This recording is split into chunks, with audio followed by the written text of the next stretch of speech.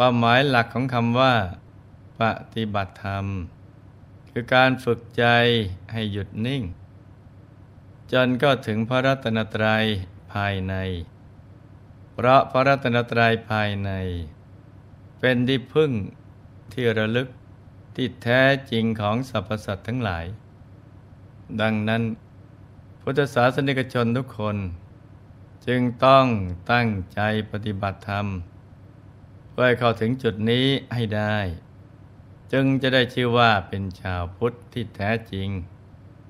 ส่วนวิธีการที่จะทำให้เข้าถึง พระรัตนตรัยภายในนั้น เราต้องเอาใจที่คิดแวบไปแวบมา คิดไปในเรื่องราวต่าง ๆ ทั้งหมดนำมาหยุดนิ่ง อยู่ตรงศูนย์กลางกายฐานที่เจ็ดหยุดให้ถูกส่วน พอถูกส่วนเข้า ไม่ช้าก็จะเข้าถึงพระรัตนตรัย อันเป็นบ่อกเกิด ความสุข และความสำเร็จที่เราปรารถนากันทุกคนนะจ๊ะ พระสัมมาสัมพุทธเจ้า ตรัสไว้ในพัทเทกรตสูตร ความว่า อตีตังนานวาคมัยยะ นับปฏิกังเขอนาคตัง ยะทะตีตัมปหีนันตัง อัปปัตตัญจะอนาคตัง บุคคลไม่ควรคำนึงถึงสิ่งที่ล่วงไปแล้ว ไม่ควรมุ่งหวัง สิ่งที่ยังไม่มาถึง สิ่งใดล่วงไปแล้ว สิ่งนั้นก็เป็นอันละไปแล้ว และสิ่งที่ยังไม่มาถึง ก็เป็นอันยังไม่ถึง ชีวิตคนเราทุกคนที่เกิดมานั้น ต่างก็ได้ผ่านชีวิต ทั้งดีและไม่ดีมาแล้วทั้งนั้น แต่เราสามารถลืมสิ่งที่ไม่ดีทั้งหลายในอดีตได้ แล้วตั้งใจทำความดีเสใหม่ การเปลี่ยนแปลงไปในทางที่ดี ก็จะเกิดขึ้นแก่ชีวิตของเรา เหมือนอย่างนายตัมปทาติกะ หรือนายเพชฌฆาตคราวแดงผู้ทำหน้าที่ประหารนักโทษ เป็นเวลายาวนานถึง 55 ปี แต่เขาก็สามารถลืมบาปนั้นได้ โดยการทำใจให้เป็นกุศล ให้บุญได้ช่องอย่างเดียว ในที่สุดก็ได้บรรลุธรรมเป็นพระโสดาบันได้เช่นกัน เรื่องของท่านมีอยู่ว่า ในสมัยพุทธกาลในตัมปทาติกะ ผู้มีในตาเหลือก เหลือง มีคราวสีแดง ได้เข้าไปสมัครขอเป็นโจร ในกลุ่มโจรที่มีมากถึง 499 คน เมื่อหัวหน้าโจรพิจารณาดูสารรูปของนายกระดาแดงแล้ว ก็คิดว่าบุรุษผู้นี้กักกระหยาบกร้าน ทั้งในตากระเหลือกเหลือง มีกราวแดงผิดมนุษย์ สามารถที่จะตัดนมของมันดา หรือนำเลือดในลำคอของบิดามาดื่มกินได้อย่างไม่สะทกสะท้าน นี่คือบุคคลอันตรายไม่ควรรับเข้ามาเป็นพวกโดยสายตาที่ฉลาด ในการคัดเลือกโจร จึงตัดสินใจไม่รับเข้าร่วมกลุ่ม แม้จะถูกปฏิเสธ นายคลาวแดงก็ไม่ละความพยายาม จึงหาวิธีที่จะเป็นโจรให้ได้ โดยการเข้าไปรับใช้โจรคนสนิทคนหนึ่งของหัวหน้า จนได้รับความไว้เนื้อเชื่อใจ และที่สุดโจรคนนั้นก็นำไปพบกับหัวหน้าอีกครั้งได้ช่วยอ้อนวอนให้รับเป็นสมาชิก โดยให้เหตุผลว่า ในทีมมีเพียง 499 คนเท่านั้น แต่หากท่านหัวหน้า รับเพิ่มอีกหนึ่งคน ก็จะครบห้าร้อยพอดี และการจี้ปล้นทรัพย์ก็จะสำเร็จได้ง่ายขึ้น หัวหน้าโจรทนคำรบเล่าไม่ไหว จึงจำใจต้องรับเอาไว้เป็นสมาชิกเมื่อรับนายคราวแดง เป็นสมาชิกได้เพียงไม่กี่วัน ยังไม่ทันออกปล้นโจรทั้งหมดก็ถูกชาวเมืองร่วมกับเจ้าหน้าที่บ้านเมือง ล้อมจับได้ แล้วก็ถูกตุลาการ ตัดสินประหารชีวิตทันที แต่ก็ไม่มีใครกล้าทำหน้าที่ เป็นเพชฌฆาตตัดคอโจร ตุลาการจึงต่อรองกับหัวหน้าโจรว่าถ้าเจ้าประหารชีวิตลูกน้องทั้งหมด ก็จะได้รับอิสรภาพกลับไปอย่างปลอดภัย ถึงจะเป็นจอมโจร แต่ก็ยึดมั่นในอุดมการของมหาโจร คือ ไม่ทำร้ายลูกน้อง และพวกกันเองที่อยู่ร่วมงานกันมาช้านาน จึงตอบปฏิเสธอย่างเด็ดเดียว ตุลาการยังถามโจรที่เหลือ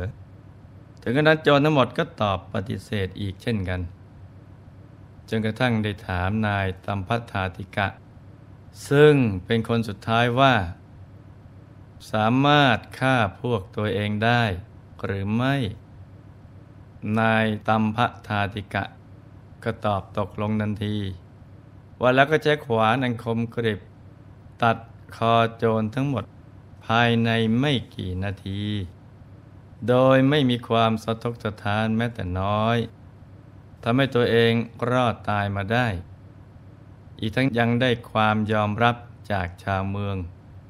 โดยการแต่งตั้งให้เป็นเพชฌฆาตคราวแดงทำหน้าที่ตัดคอโจร ที่ตุลาการได้พิพากษาคดีเรียบร้อยแล้ว ตั้งแต่นั้นมา เขาจึงเปลี่ยนฉายาจากโจรคราวแดง มาเป็นเพชฌฆาตคราวแดง คอยประหารนักโทษ ครั้งละหนึ่งคนบ้างสิบคนบ้างห้าร้อยคนบ้าง เขาทำหน้าที่นี้อยู่นานถึงห้าสิบห้าปี พอแก่ตัวลง เรี่ยวแรงก็เริ่มถดถอย จากที่สามารถ ตัดคอด้วยการฟันลงเพียงครั้งเดียว ก็ต้องทุ่มเทเรี่ยวแรงที่มีอยู่ ฟันถึงสองสามครั้งทำให้นักโทษได้รับความทรมาน ชาวเมืองยังถอดเขาออกจากตำแหน่ง แล้วหาคนใหม่มาทำหน้าที่แทนมนายตัมพทาธิกะ ถูกถอดจากการเป็นเพชฌฆาตแล้ว ก็กลับมาพักผ่อนที่บ้าน นื่องจากโจนที่อยู่ในหน้าที่นั้น เขาไม่เคยดิ้นนุ่งผ้าใหม่ ไม่ได้ดื่มยาคู เจือน้ำนมที่ปรุงด้วยเนยใส ไม่ได้ประดับดอกมะลิ และไล้ทาด้วยของหอมเลย เพราะฉะนั้นพอถูกถอดจากตำแหน่ง จึงสายคนในบ้านจะเตรียมไว้ให้ ส่วนตัวเองก็ไปอาบน้ำที่แม่น้ำแล้วก็ได้นุ่งผ้าใหม่ ประดับดอกไม้ ทาตัวด้วยของหอม นั่งพักผ่อนอย่างมีความสุข เตรียมพร้อมที่จะดื่มยาคูที่ตนปรารถนา เช้าตรู่ของวันนั้น พระสารีบุตรได้ออกจากนิโรธสมาบัติ และพิจารณาว่าควรจะไปโปรดใครดี ก็ได้เห็นเพชฌฆาตคราวแดงเขามาได้ขายยาณทัศนะ จึงออกบินาบาตไปยืนอยู่หน้าบ้านของเขามานายตามพระธาติกะเห็นพระเถระ ก็มีจิตเลื่อมใส คิดว่า เราทำบาปกรรมหยาบช้ามานานฆ่ามนุษย์มามากมายนับไม่ถ้วน วันนี้ทายธรรมของเราก็พร้อมแล้ว พระเถระก็มายืนอยู่ที่ประตูบ้านของเราแล้ว เราควรถวายทานในเวลานี้ วันแล้วก็น้อมพระตาหารอันประณีตเข้าไปถวายพระเถระ แล้วนิมนต์ให้ท่านฉันพระตาหารในบ้าน จากนั้นก็ทำหน้าที่อุปถากด้วยจิตเริ่มใสเมื่อพระเถระทำพัฒกิจเสร็จแล้วได้กล่าวอนุโมทนาแก่เขา แต่เขาไม่อาจทำจิตไปตามพระธรรมเทศนาได้ เพราะมัวกังวลว่า ตนเองได้ทำบาปอากุศลมามาก ใจที่กังวลหมกมุ่น ถึงเรื่องราวในอดีตนั้น เป็นสภาพใจที่ไม่พร้อมจะฟังธรรม ปฏิบัติธรรม หรือเข้าถึงธรรมภาษาลิบุตรจึงถามกันว่า อุบาสกท่านได้ฆ่าคนตามใจชอบ หรือว่าถูกคนอื่นสั่งให้ทำเล่า เขาตอบด้วยความซื่อว่า แล้วคุณเจ้าผู้เจริญ ระราชาสั่งให้ข้าพเจ้าทำบางครั้งตุลาการก็เป็นคนสั่ง พระเถระจึงกล่าวเป็นเชิงให้กำลังใจว่า อุบาสกเมื่อเป็นเช่นนั้น อกุศลจะมีแก่ท่านได้อย่างไร เขาจึงคิดว่า เมื่ออกุศลไม่มี งั้นก็คงไม่เป็นบาป เมื่อปลดจากเครื่องกังวลทั้งหลายได้ ใจก็มีสภาพเป็นกลางกลาง ไม่ไปยึดติด ในบาปอากุศล ที่เคยฆ่าคนเอาไว้ ใจจึงมีความผ่องใส ได้ตั้งใจฟังธรรม จากภาษาริบุตรด้วยใจที่จดจอ่อน้อมใจไปตามคำสอนคำพเถระ มีอารมณ์เป็นหนึ่ง บุญได้ช่องเต็มที่ทำให้ดำเนินจิตเข้าสู่ภายในเป็นลำดับ จนก็ถึงนามกายประโสดาบัน เป็นพระอริยบุคคล มีความสว่างสวัยอยู่ภายใน จากนั้นพระเถระก็อำลากลับวัดเชตวัน อุบาสกคราวแดง ขอรับบุญโดยการถือบาท เดินตามส่งพระเถระ เมื่อส่งท่านเรียบร้อยแล้วขณะเดินทางกลับบ้าน ก็ถูกแม่โคขิดตายระหว่างนั้นเอง แต่ด้วยความปลื้มปิติในธรรม และอิ่มในบุญที่พิ่งทำไป เมื่อละโลกแล้วก็ได้ไปบังเกิดในสวรรค์ชั้นดุสิตเย็นวันนั้นภิกษุทั้งหลาย ทูลถามพระบรมศาสดา ถึงการจากไปของนายเพชรฆาตคราวแดง พระองค์ตรัสว่า อุบาสกนั้น ได้กัลยาณมิตรใหญ่ ได้ฟังธรรมจากสารีบุตร จนได้บรรลุโสดาบัน ละจากโลกนี้แล้ว ได้ไปบังเกิดในวิมานชั้นดุสิตพระภิกษุก็ได้กราบทูลถามต่อว่าข้าแต่พระองค์ผู้เจริญ แต่เขาทำอกุศลกรรมไว้มากคุณวิเศษจะมาเกิดขึ้นกับเขาได้อย่างไรพระเจ้าค่ะพระองค์ตรัส ตอบว่าภิกษุทั้งหลาย เธอจะถือประมาณธรรมะ ที่เราแสดงแล้ว ว่าน้อยหรือมากพระวาจาแม้คำเดียวที่เป็นประโยชน์ ย่อมประเสริฐโดยแท้ หากวาจาแม้ตั้งพัน ไม่ประกอบไปด้วยบทที่เป็นประโยชน์ วาจาแม้คำเดียว ซึ่งบุคคลฟังแล้วสงบระงับได้ ประเสริฐกว่า พวกเราก็เช่นเดียวกัน ชีวิตที่ผ่านมานั้น เราอาจจะเคยพลาดพลั้ง จะโดยตั้งใจ หรือไม่ได้ตั้งใจก็ตาม เราสามารถเริ่มต้นใหม่ได้เสมอ บางคนอาจเริ่มต้นชีวิตด้วยความมืดมน แต่สุดท้ายกลับสว่างสวัยฉากชีวิตในแต่ละชาติจะจบลงอย่างงดงาม หรืออับเฉาเพียงไร อยู่ที่ใจของเราเป็นตัวกำหนด เพราะทุกสิ่งอยู่ที่ใจ ดังนั้นไม่มีอะไรที่สายเกินไปสำหรับการเริ่มต้นใหม่ อนาคตจะดีหรือไม่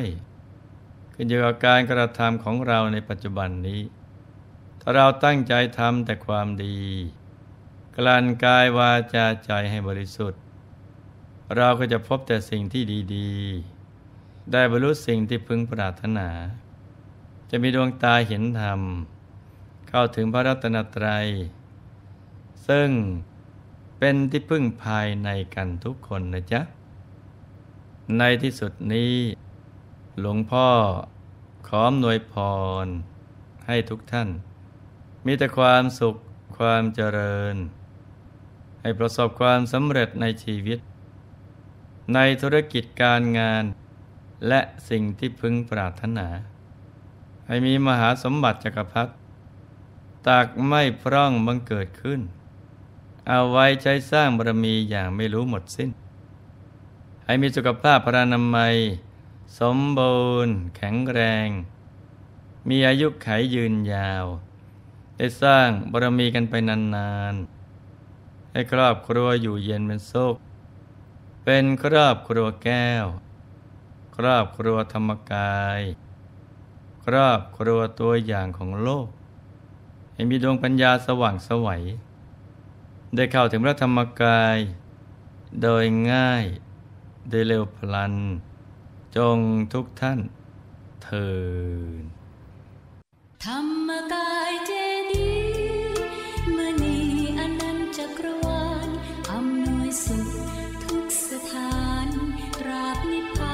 าน